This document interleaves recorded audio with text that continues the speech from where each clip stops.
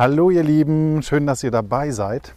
Ja, meinen Garten kennt ihr schon. Ich habe allein zwei Gartenrundgänge im März gemacht, weil sich einfach so viel getan hat äh, in unterschiedlichsten Beeten. Um meinen Garten soll es aber nicht gehen. Ich habe ja schon ein bisschen gespoilert, dass ich in den Nachbargarten möchte und darum soll es heute gehen. Dort entsteht auch ein Permakulturgarten nach verschiedenen Prinzipien. Permakultur, äh, generell aus dem Hortus gibt es Elemente und äh, auf jeden Fall angelehnt an Herwig Pommeresche. Leben bringt Leben. Äh, die Humusphäre super wichtig für uns. Das Tolle ist für alle, die jetzt vielleicht auch frisch anfangen mit dem Garten. Gerade in diesem Jahr wird da deutlich, dass so ein Stückchen Natur unglaublich wertvoll ist, äh, auch im Sinne der Eigenversorgung, was man da so gesundes, äh, frisches aus dem Garten dann nachher auf dem Teller haben kann. Aber äh, nicht nur das, auch als Erholungsort, äh, ein kreativer Ort. Aber ja, ich rede zu viel. Es geht um einen Gartenrundgang und zwar nebenan, ein kleiner. Und ich werde euch mal zeigen, was sich da so getan hat in der Zeit, seitdem sie hier sind. So wirklich durchstarten tut das erst dieses Jahr und äh, ich nehme euch mit. Lass mal rübergehen.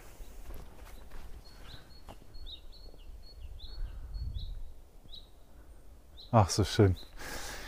Ja, gehen wir mal in den Nachbargarten. Hier geht es einmal über den Zaun. Und hier vorne möchte ich auch anfangen, denn ich meine, das war auch das erste Element, was hier reingefunden hat. Im ersten Jahr mit Kartoffeln, also letztes Jahr. Äh, das war auch das einzige Beet, gab ein bisschen was für die Bienchen noch und so, da kommen wir gleich zu. Aber hier vorne waren Kartoffeln drin. So, und von unten hatten wir ein bisschen ein paar Sachen zum Verrotten, haben aber gemerkt, da könnte deutlich mehr Erde rein. Dafür haben wir dieses Jahr gesorgt und hier sind halt noch so Wintersalate drin. Hier schon Wegerich und so. Das, was ihr aus meinem Garten kennt, die kämpfen sich so alle so ein bisschen durch. Keiner weiß, ob er noch wachsen will und soll. Ja, wir haben das einfach mal ausprobiert. Wir hatten ja auch letzte Nacht wieder minus 5 Grad. Hier vorne haben wir sogar Wermut drin. Irgendwie wunderschön, wie ich finde. Auch so mit diesem Lila und Grün und ja, und der Hirschhornwegerich, der war wohl zu groß. Aber darum soll es nicht gehen im Einzelnen. Hier vorne Oh, upsi, da muss man ab und zu mal aufpassen. Nein. So, wieder alles heile. Ja, hier vorne gibt es so verschiedene Sachen. Hm. Ich war bei der Aussaat dabei. Also hier vorne entsteht irgendwas. Keine Ahnung, was da entsteht. Vielleicht sammeln die auch erstmal nur Steine. Ja, und hier um mich herum, erstmal haben sie hier so, ein, so eine kleine Stelle gemacht. Also der, der, der Garten wird bewirtschaftet im Moment von Dixon und Philipp. Ähm, äh, bei Instagram oder so habt ihr bestimmt mal Fotos gesehen. Der Philipp krebste auch im März-Video im Hintergrund ein bisschen rum. Ja, und mit denen war ich hierbei. Und äh, außenrum haben wir die dicken Bohnen gepflanzt. Ne, kommt da eine? Da könnte sogar schon eine kommen. Ja, aber hier in, in dem Bereich sieht so aus: Radieschen, Spinat, äh, äh, Möhren, äh, verschiedene Radieschensorten, noch eine andere Spinatsorte. Also das ist hier so in diesem Feld hingekommen. Da ein bisschen tiefer als da, das könnt ihr auch ganz gut sehen. So, unserem Garten entwickelt sich ja, das geht ja nicht von heute auf morgen. Und wir gehen jetzt einfach mal rüber. Hier in dem Bereich ähm, haben sie angefangen, ein bisschen Stöcker zu legen. Die sind ein bisschen überwuchert jetzt vom Gras. Wow, richtig schön viel Moos. Ich persönlich mag Moos super, super gerne. Ja, und dann waren hier ein bisschen Blümchen drin. Und ja, so könnt ihr das letztendlich auch machen, wenn ihr mit dem Garten anfangt. Es ist wie eine weiße Leinwand. Das ist unglaublich, äh, ja, wie soll man sagen, der Horizont ist weit in den Möglichkeiten, die ihr habt, so einen Garten anzulegen. Seid kreativ, da gibt es so, so, so viele Optionen, Möglichkeiten. Äh, seht ihr ja bei mir drüben. Ja, nicht ganz so spektakulär. Da gab es Oregano zwischen, äh, Lavendel wächst da und so weiter und so fort. Hier vorne die Minze. Muss ich jetzt nicht vom Nahen zeigen. Aber was ich euch vom Nahen zeigen möchte, das ist dieses schöne Ding. Das hier, ja, das schöne Ding. Da steckt noch ein Bohrer drin. Aber hier hatten wir fleißig was für die Wildbienen gemacht. Ein paar Löcher wurden angenommen. Da sieht man noch Reste. Da ist auch dicht. Da oben also wurde ein bisschen angenommen, hoffen dies Jahr auf mehr. Vielleicht sollten wir da die anderen Löcher noch mal richtig sauber aufbauen. Wir haben das so sauber wie möglich gemacht und auch noch nachgeschmirgelt und so weiter und so fort äh, im Vergleich zu drüben. Äh, schon von der Erfahrung profitiert. Ich habe ja auch mal gesagt bekommen, dass äh, ja, man das richtig schön sauber machen sollte, damit die Bienchen nicht äh, mit den Flügeln an den, ne, an den Spänen, an den Sachen, die da aufquellen, wie auch immer, irgendwie hängen bleiben. Tatsächlich habe ich das bei mir an einer Stelle festgestellt. Das wünsche ich natürlich keine Bienen, sondern die Bienen helfen und nicht die Bienen töten. Und das ist natürlich ganz wichtig. Gut, so was Schönes haben sie noch drin. Und könnt ihr sehen, also anders hat das bei mir auch nicht angefangen. Ich habe überall irgendwelche kleinen Sachen gemacht und nach und nach entsteht der Garten und kann ja ganz viele kreative Elemente haben, die für die Tierchen wichtig sind, äh, für euch wichtig sind. Äh, ist einfach eine Win-Win-Win-Win-Win-Situation, wie ich finde. Ja, aber wir bleiben jetzt bei dem Garten hier und in dem Garten gibt es noch einiges zu zeigen. Die rechte Seite habe ich euch noch gar nicht gezeigt. Und bevor wir rüber hüpfen, gibt es noch ein kleines Beet zu zeigen. Und zwar nicht das, sondern hier gibt es noch ein bisschen was zu sehen. Und das möchte ich euch vom Nahen zeigen. Das ganze Geschichtchen hier äh, gibt schon eine Weile, gab es letztes Jahr auch. Und das haben Philipp und ich äh, fertig gemacht. Er hat hier einen kleinen Steinkreis, hat Mangold von mir gekriegt. Mm.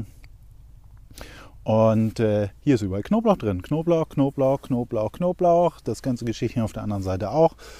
Ähm, hier waren verteilt so ein bisschen die Wintersalate, aber ich glaube, die haben ihren Zenit gehabt. Sieht auch übel aus. Gibt natürlich durch die Frosttage immer Tage, wo auch mal die Blätter wegfrieren. Ne? Also, aber Mangold sieht super aus. Darüber freue ich mich. Und hier hat auch eine Erdbeerpflanze reingefunden. Ja, ist ja generell geschützt. Ich weiß nicht, äh, ein paar wissen das von euch draußen. Auf jeden Fall äh, Knoblauch und Erdbeeren, eine super Kombi in Beeten. Hm beschützen sich und äh, ja, es ist eine super Ergänzung. So, und äh, jetzt kommt die anderen Sachen. Auf geht's. So, und an dieser Stelle befinden sich zwei Beete, beziehungsweise auch schon drei. Hm, ich habe jetzt nicht überall Aktie drin, was da drin ist. Äh, das ist unberührt. Da soll noch was entstehen, das verrate ich euch aber noch nicht um auch die Kreativität der Jungs nicht einzuschränken, falls sie das Video sehen und oh, ich wollte noch das machen.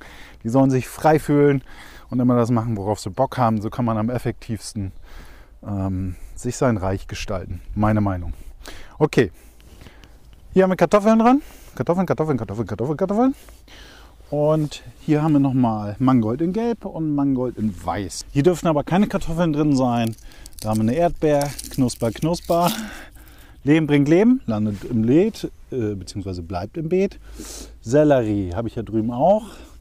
Kann man wunderbar umpflanzen, war völlig äh, unkompliziert und kann super Wintergrade ab. Also beim Sellerie bin ich da doch schon überrascht. Äh, sehr hartnäckig. Ich weiß nicht, was das hier ist. Keine Ahnung, können die Jungs mir noch verraten. Also Erdbeeren, Sellerie, Erdbeer, Erdbeer. Hier ist irgendwas, sieht auch nach Erdbeer aus. Sellerie, Sellerie, beim Sellerie weiß ich nicht genau. Ach, hier links haben wir auch noch eine Erdbeere und hier auch. Also Sellerie kommt immer. Ne? Wenn ihr ein Büschel habt ohne grüne Blätter, das äh, kommt auf jeden Fall auch durch. Ja, und dann haben wir das hier richtig schön gemacht mit Totholzumrandung. Mhm. Bietet viele, vielen Lebewesen Raum und äh, ja, kann ich euch nur empfehlen. Das äh, ergänzt sich alles. Gott, und jetzt kommen wir zum Schmankerl. Das Schmankerl ist nämlich hinter euch, das habe ich gerade in Aufnahmen so gut es geht vermieden. Und da wollen wir jetzt hin. Hinter euch entsteht nämlich gerade ein Beet. Und zwar gibt es bei mir drüben auch schon das sogenannte Kiholbeet. Dieses Beet kann ich nur empfehlen. Hat richtig viel Spaß gemacht bei mir. Und äh, was ihr an Pflanzen im Kiholbeet drin habt, das, äh, das kriegt auf jeden Fall Zunder. Ja, also Tomaten haben sich über lange Wege die Wurzeln bis zum Kompost und äh, äh, das ergänzt sich hier echt richtig, richtig gut. Und äh, die Würmer haben auch keinen weiten Weg. Ne? Also die werden hier knabbern können, äh, das alles umarbeiten hin und her. Die sind ja unterwegs, ne? die scheißen euch ins Beet.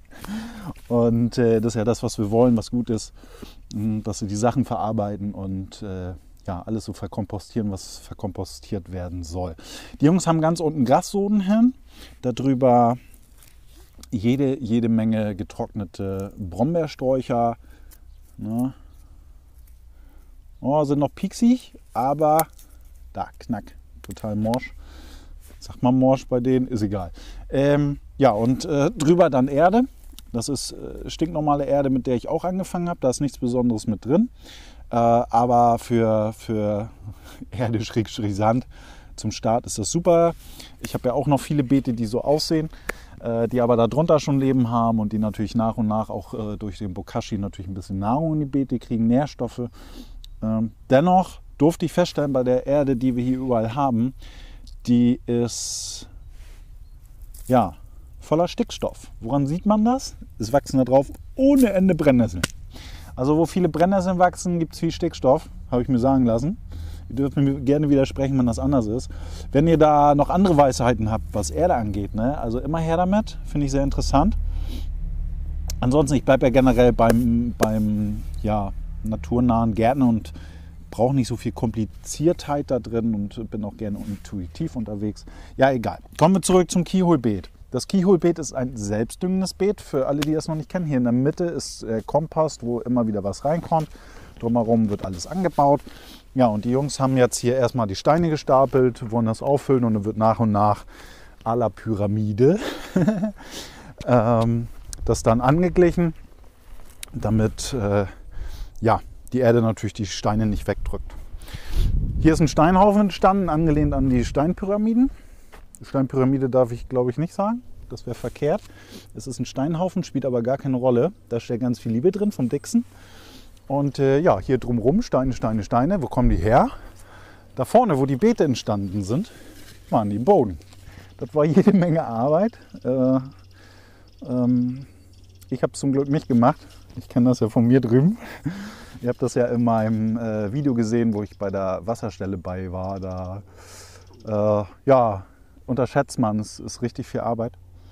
Aber ja, es fühlt sich nicht wie Arbeit an, wenn man es macht, wenn man Bock drauf hat.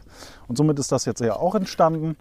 Hier kommt noch jede Menge Erde rein. Habe da schon ein bisschen was äh, gesiebt gesehen oder von, von Unkraut entfernt. Da geben sie sich richtig, richtig Mühe. Ja, und dann darf hier dann auch richtig geil was entstehen. Ja. Ich freue mich für die Jungs. Ich freue mich, dass die Blut geleckt haben. Wenn ihr das mal sehen solltet, seid gegrüßt an dieser Stelle. Philipp Dixon, Flo hatten wir auch mal hier. Bin gespannt, wie das weitergeht. Das ist total schön. Also das, das Keyhole-Beet feiern sie, das wollten sie unbedingt auch haben. Vielleicht kommt ja noch eins hin irgendwo. Äh, ich könnte gut noch mehr haben. Nein, bei mir hier hinter mir ist aber richtig betrieben. Was haben wir denn hier? Oh, die Bienchen. Hallo? Könnt ihr die hören? Oh. Meckerst du mit mir? Ich glaube, die wollte in Ruhe arbeiten. Lass ich sie mal in Ruhe. Ja, Hierzu gibt es sonst nichts zu sagen. Und das war auch hier vorne dann auch schon der Bereich. Äh, viel, viel mehr gibt es jetzt auch gar nicht. So, mal gucken, ob ich mich hier hinsetzen kann oder ob gleich alles zusammenfällt. Nee, das geht noch. Also wie ihr sehen könnt, ihr habt unglaublich viele Möglichkeiten, äh, irgendwas zu machen. Es muss nicht immer eckig sein, es kann auch rund sein, es kann ein bisschen unorthodox sein. Der Horizont ist weit. Probiert einfach mal aus. Ich bin immer dafür, dass sich jeder irgendwie individuell auslebt. Hm. Also hier steckt schon richtig viel Liebe von den Jungs drin, im restlichen auch. Bin gespannt, wie es weitergeht. Ich freue mich da richtig drauf. Ich werde jetzt noch einen Moment das richtig schöne, herrliche Wetter genießen. Es ist richtig schön.